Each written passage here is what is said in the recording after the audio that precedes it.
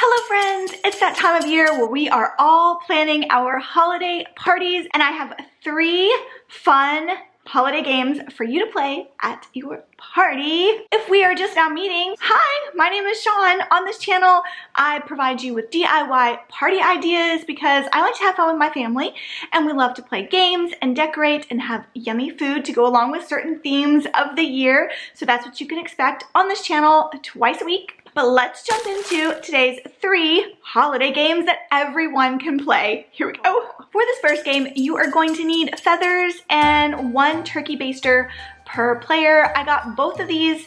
Actually, all the supplies in this video came from my local Dollar Tree except for the turkey hat, which you'll see in the last game. The object of this game is to see who can blow their feather the fastest to the end point using only their turkey baster. You gotta squeeze it. Air comes out the end, just like when you would be sucking up turkey juice to make your gravy. Is that what you use a turkey baster for? What exactly is a turkey baster used for?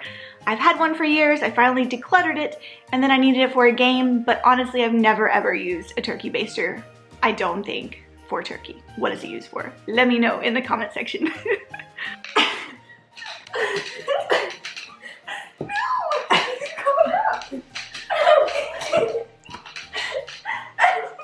Moving on to game number two.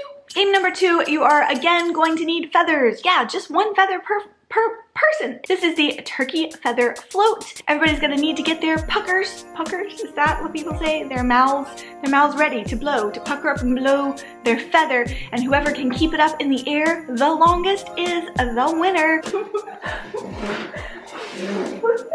Before I move on to game number three, a thumbs up is the best compliment you can give me. Subscribe if you wanna hang out with me more. Moving on to game number three. Game number three is called Ring the Turkey. You're going to need to cut your paper plates in the center to make them look like rings.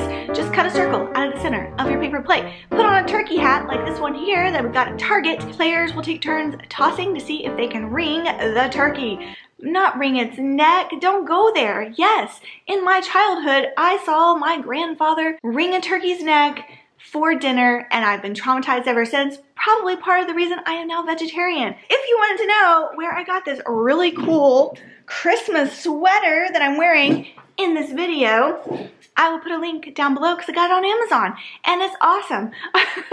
I'm gonna pop a video right here that I know you're gonna wanna love. I will see you in Friday's video for some more Christmas games. Yes, yes, yes, those are coming up. Bye!